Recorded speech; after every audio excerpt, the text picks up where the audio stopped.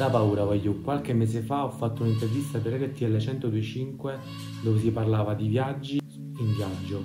In, in, viaggio.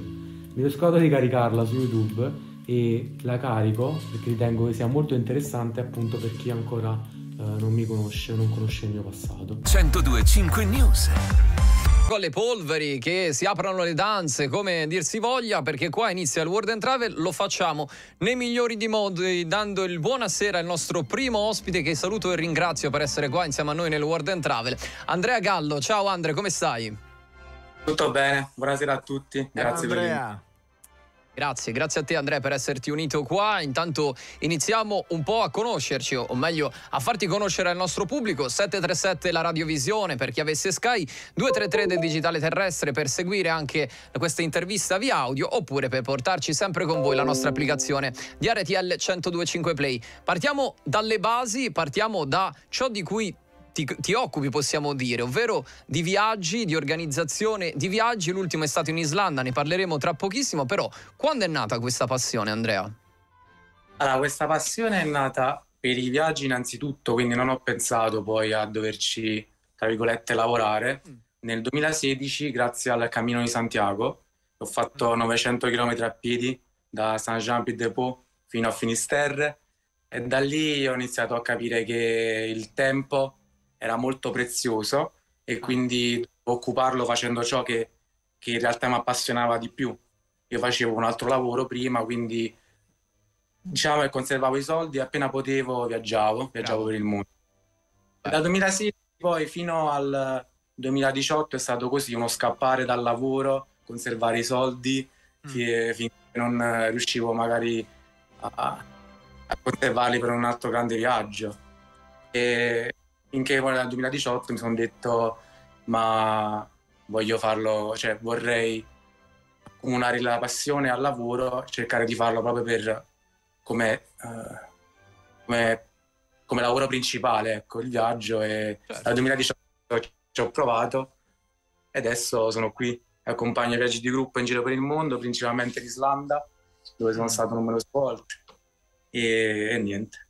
Bello, eh, niente, cioè insomma, dire niente così, visto che comunque... Allora, a noi mi è interessato molto il tuo inizio a proposito del... Ehm, che ti ha flashato il, il cammino di Santiago. L'hai fatto per un motivo uh, spirituale o l'hai fatto semplicemente perché ti affascinava quel, quel cammino?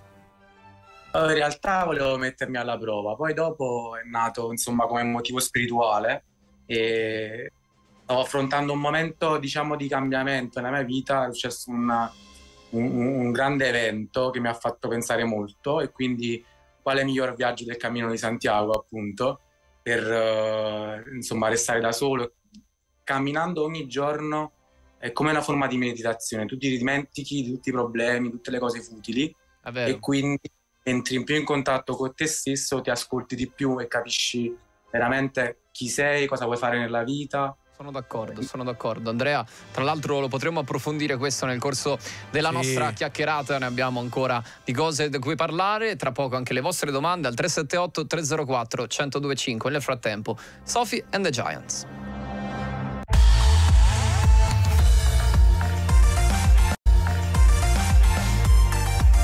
RTL 1025 News 21 e 16 minuti, torniamo in diretta nel World and Travel di RTL 1025 News. Un grazie a Mauro Massari e a tutti i colleghi di Autostrade per l'Italia che puntualmente ci aggiornano sulla situazione in tempo reale di traffico e viabilità sulle nostre strade e autostrade. Qua stiamo parlando di viaggi, lo stiamo facendo insieme al nostro primo ospite di serata, Andrea Gallo. Lo potete trovare sui social, sulle piattaforme come andrea.send. Abbiamo capito il click eh, scattato durante un cammino di Santiago, lo si legge appunto anche nella eh, tua bio bio di Instagram che sei questo pellegrino in viaggio appunto sul cammino mm. di Santiago, si legge però anche che ami l'Islanda. Parlavamo di questi viaggi che tu organizzi laggiù.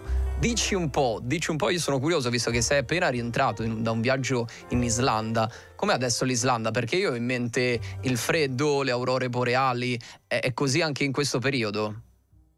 Sì, l'Islanda è sempre fredda, ecco. quindi se vuoi andarci adesso ti ha portato giubbino per forza. Bello detto. detto in francese. Sì, sì, esatto.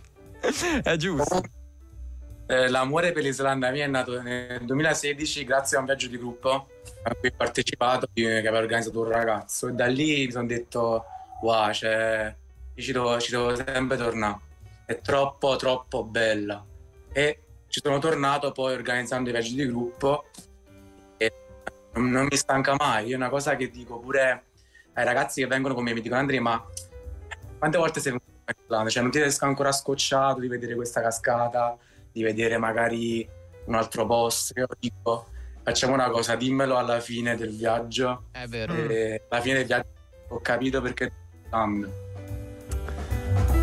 è giusto, è giusto Andrea, tutto, tutto molto bello. In, al posto di chiederti magari le solite cose che si possono chiedere, ma eh, l'Islanda, ma com'è? Eh, tu, tutte quelle cose insomma che si vedono poi sui social, che sono delle cose molto, molto, molto belle. Eh, io volevo chiederti invece delle tue Visto che hai fatto tanti viaggi, non solamente in Islanda, però eh, l'Islanda diciamo è, è, sul tuo focus proprio personale, volevo chiederti un po' eh, il tuo modo di viaggiare, se sei uno che veramente con poco anche si, si, accontenta, soprattutto se sei uno molto spartano, perché so che in Islanda, al contrario di quanto si possa pensare, non si può, eh, come si dice, camperizzare ovunque, comunque anche solo mettere una tenda ovunque, ci sono pochi posti dediti a questa cosa qua. È, è giusto, ho detto qualche cavolata, come, come funziona lì? No, esatto, in Islanda i posti dove puoi fare camping sono, sono, specifici, non puoi fermarti nella natura dove vuoi. Vabbè, potresti farlo perché alla fine nessuno ti dice niente, però eh. ci sono specifici dove puoi fare camping che sono attrezzati anche con delle docce o comunque con i bagni.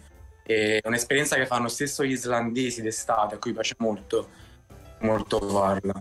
E in viaggio sono molto, essendo, io ho fatto due volte il Cammino di Santiago, poi anche, mo non mi voglio atteggiare, però anche la Via della Seta, sono stato da Shanghai a Roma senza aerei. Che figata! ho fatto dei tipi di viaggi che sono eh, dove veramente devi avere l'attitudine, ti devi adattare molto.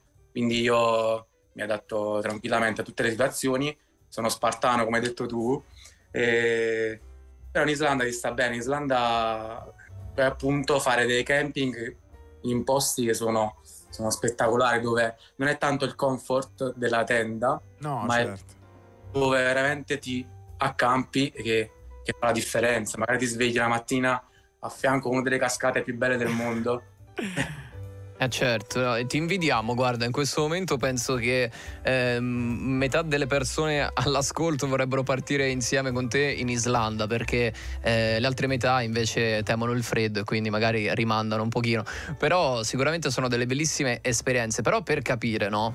Tu parlavi di all'essere tuo spartano, ecco, quindi quando vai ad organizzare dei viaggi per altre persone, questa spartanità concedetemi il termine, si ritrova in questi tuoi viaggi oppure è una cosa un pochino più comfort? E rispettare comunque un equilibrio, ecco, perché mi rendo conto che non a tutte le persone piace fare un viaggio di gruppo dove poi devono magari alloggiare in una guest house che non è tanto carina o in un cottage che magari è un po' sporco, ecco.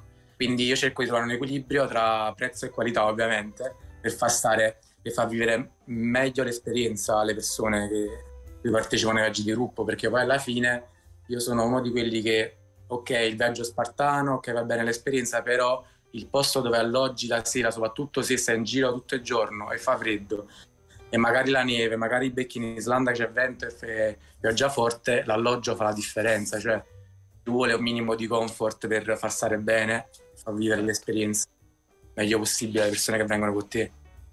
Assolutamente, quindi guarda io di comfort vorrei continuare a parlare dopo, non abbiamo tantissimo tempo, ma eh, lo, lo, collego un po' a, tutti questi viaggi, a, tu hai parlato di tre viaggi in particolare, quello in Islanda, quello il, il, famoso cammino di Santiago e la via della seta, tutte e tre, insomma se non sei una persona un po' eh, amante dell'avventura dal punto di vista proprio di scoprire ecco anche alloggi spartani e queste cose qua, penso che non si possa fare. E ho letto il libro di, di una persona che sicuramente conoscerai tempo fa, eh, che si chiama Human Safari, Nicolo Balini, che ha scritto un libro meraviglioso proprio sul, sul, cammino di Santiago. Quindi dopo ti voglio chiedere un po' eh, della tua avventura proprio dal punto di vista di come si passa dalla Francia alla Spagna, di tutti i timbri. Se vuoi rimani con noi, nel frattempo ci mischeta, finimondo.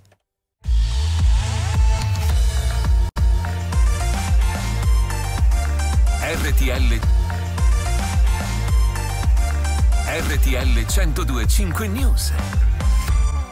Se n'è quasi volata via la prima mezz'ora del World and Travel qua su RTL 1025 News. Ancora un buon lunedì sera a tutti voi collegati qua in radiovisione al 737 di Sky o la, la, versione audio del digitale terrestre, canale 233. Ultima parte di chiacchierate insieme al nostro Andrea Gallo. E Mariano, avevi una curiosità da levarti riguardo al cammino di Santiago, mi pare. Beh sì, il, Cammino di Santiago parte praticamente dai, dai Pirenei, no? giusto dalla parte, dalla parte francese poi si scavalla, si va in Francia e poi si finisce a Finisterre per uh, in realtà si finisce a Santiago de Compostela, però se uno lo vuole fare in maniera corretta dovrebbe finirlo a Finisterre, ok? Eh, dove c'è proprio una dove poi c'è una, una, grande pietra che dice insomma quello è il chilometro zero. Ecco. Ah. Eh, eh, tu come, come l'hai vissuto, soprattutto come hai vissuto oltre gli spostamenti che sono tostissimi, eh, ma eh, come hai vissuto i vari posti, nel senso ti sei organizzato, li hai trovati lungo il posto, ehm, non lo so, dici un po' tutto come ti sei trovato nei vari posti dove poi sei andato a riposarti e a rifocillarti. Beh, eh, hai detto tutto. Mi sono molto adattato. Diciamo che non è semplice affrontare il cammino di Santiago, quello francese, che appunto la Saint-Jean-Pied-de-Pont raggiunge Santiago in 800 km, poi vabbè se vuoi raggiungere la famosa pietra chilometro zero devi farne altri 100. E non è facile perché tu cammini tutto il giorno, poi ti ritrovi magari in ostelli, quindi in camerate da 20-30 persone, devi adattare puliti, quindi ci vuole spirito di adattamento, però poi dopo ci fai l'abitudine mi sono trovato, io mi sono trovato bene, a me è piaciuta molto come esperienza, mi ha fatto crescere, mi ha, mi ha insegnato tantissimo, mi ha fatto conoscere ogni giorno persone nuove che mi hanno insegnato tantissimo. Sì, uh, mi sono affidato completamente alla, uh, alla, vita, insomma, alla provvidenza, come dico io, e sono successe cose incredibili tutti i giorni. Per esempio, te ne racconto un paio. Uh, un giorno, dopo quattro giorni non ce la facevo più a camminare perché non avevo le racchette insomma da trekking, non avevo un bastone e ho incontrato una, un'amica mia, incontrata tipo il primo giorno cui ho, con cui ho fatto conoscenza, no? E lei mi vede per strada che stavo un male, fa, mi sfotte, mi inizia a dire yeah, che non ce la fai più a camminare. E faccio no Miriam, lasciami stare, non, non sto in vena perché mi serve un bastone, non riesco più a camminare. E fa lei, eh, qual è il problema? Ti do il mio, che tanto ce n'ho due. Ah, bello.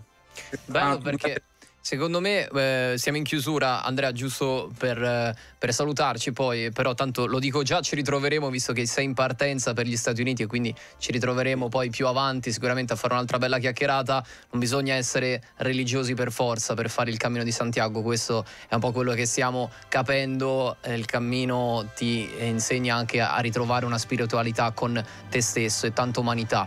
Ti ringraziamo davvero Andrea per esserci venuto a trovare e averci raccontato con passione i tuoi viaggi. Grazie mille Andrea. Grazie a voi ragazzi, grazie mille. Ciao Andrea, serata. buona serata e alla prossima. Buon viaggio. Bene, questa era la fine dell'intervista. Se siete arrivati fino a questo punto commentate con Da Paura. Ci vediamo al prossimo viaggio. Ciao, aiuto.